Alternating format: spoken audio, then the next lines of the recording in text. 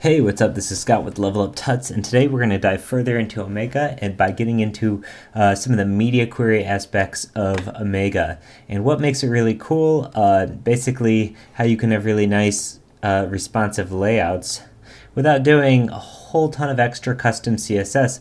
A lot of it you can maintain and, and do directly through the Omega interface, which can, of course, save you quite a bit of time um, so you don't have to repeat things that you would uh, code over and over again because they have this framework built in place for you uh, that can handle a lot of the more standard things to do for you. And if you need to do some less standard things, then um, there are options for that. Uh, in fact, things that we'll have to go over in another tutorial because there, there's a lot of different different things approaches you could take. But for this, um, you can get so much accomplished with Omega itself.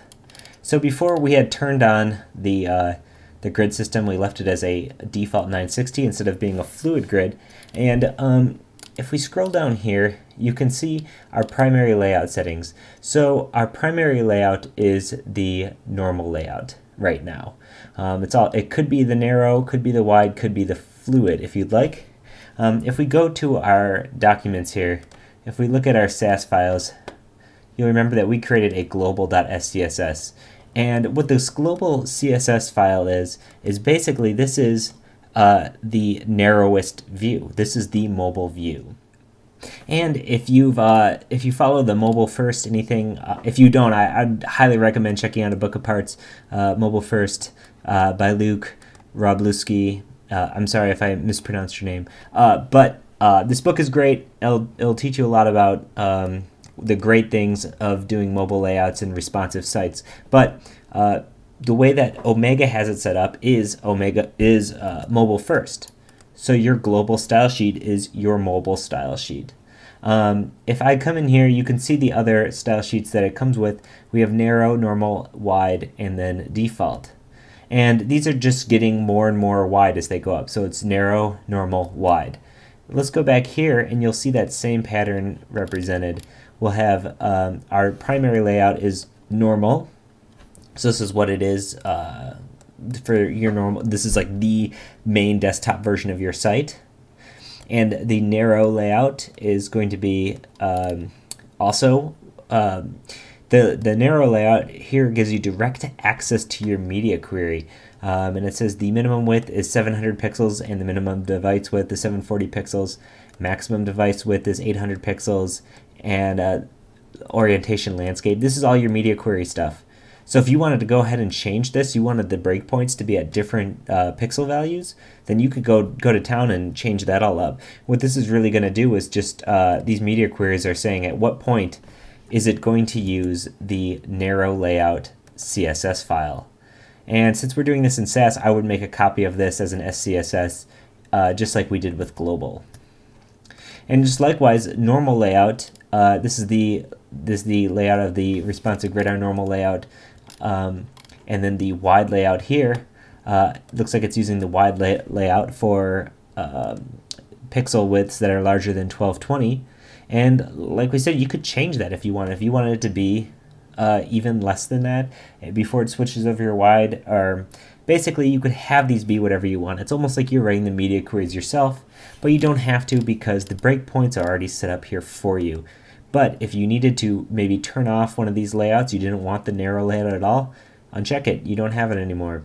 Um, so this is really great because it allows you complete control over your media queries without having to go in there and write them yourself.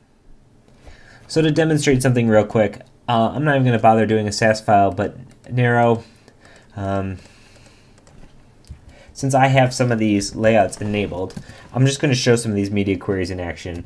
Um, uh, what it, so since we have these enabled, I'm just going to show some of these media queries in action. I'm going to do body, and I'm going to add this background, red, and then copy this normal.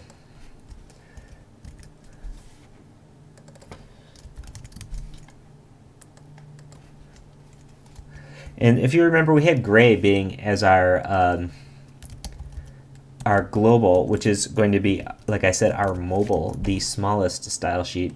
Um, and, okay.